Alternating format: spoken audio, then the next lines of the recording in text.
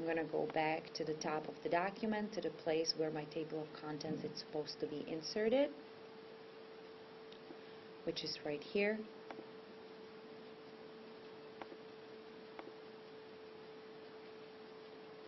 And I will say Insert, Document Element, Table of Contents. It will open a new dialog on the top of the page, and I will say just insert a regular one. Now my table of contents has been inserted according to the headings as I mark them. But the one thing that hasn't been done is format the actual table of contents. And in order to do that, I have to go and individually format the individual headings within the table of contents. And for that, I will use the formatting palette again. I have to click on this list and say show all styles, which will now show me all the different styles. And by scrolling down, I will get to the part where it shows and allows me to modify the individual headings within the table of contents, which is TOC 1, 2, 3, 4, etc., etc. It also allows me to modify the heading. So first I will modif modify the um, the individual levels 1, 2, and 3. So again, I will click on the arrow, modify style, Times New Roman, 12, not bold, matching color automatic,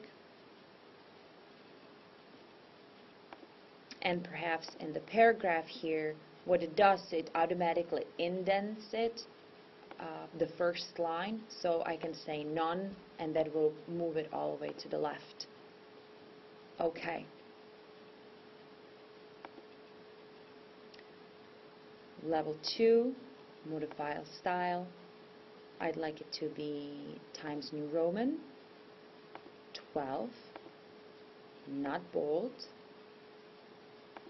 in font. I'll make sure that the color match is automatic. I'd like it to be all caps.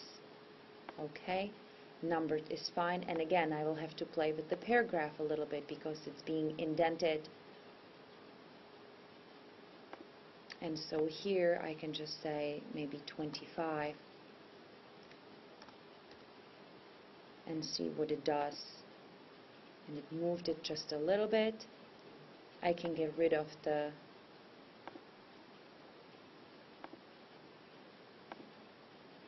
hanging so it moves all to the left which it has. Okay. Okay. And then the last is table of contents level 3 I will modify the style there.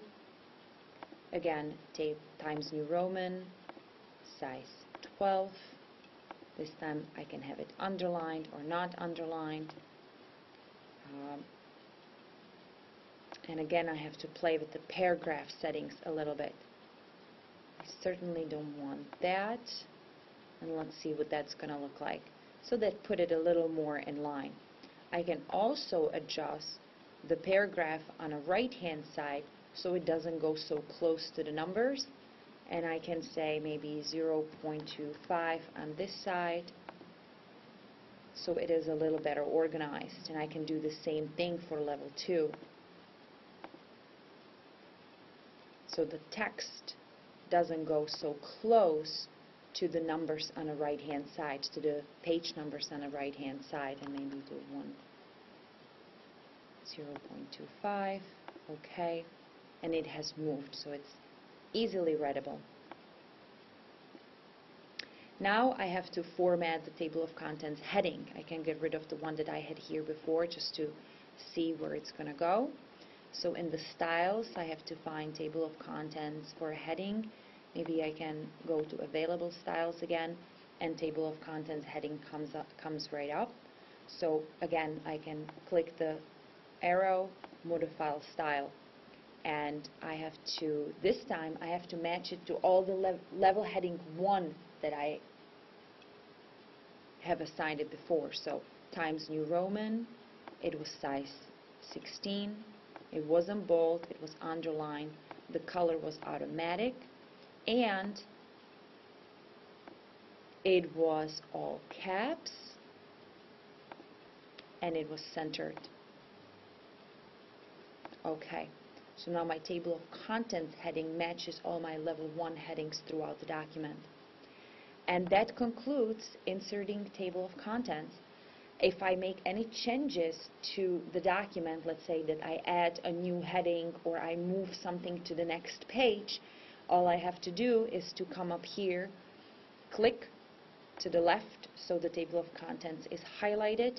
That will give this small little arrow. I will click that and I say update table and it will update the table with the new page numbers.